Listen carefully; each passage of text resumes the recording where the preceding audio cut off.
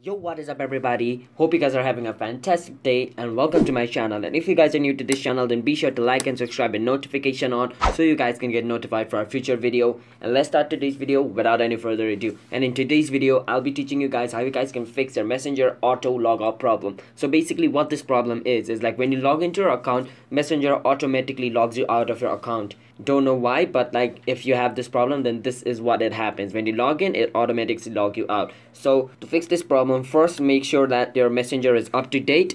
So for that go to your play store and check if your messenger is up to date. So let me go to my play store and check if my messenger is up to date or not. As you guys can see there's an open button over here. If there was an update button instead of open button then i need to update my messenger. So if you guys also have an update button then make sure to update your messenger. Because sometimes it's because of a bug so you have to make sure your messenger is up to date to log into your account. And if you still have this problem even after updating your messenger then the other thing you can do is offload messenger. So basically what offloading messenger means like we are going to delete and reinstall messenger. So we can do that. So i'm going to hold on my messenger icon click on app info.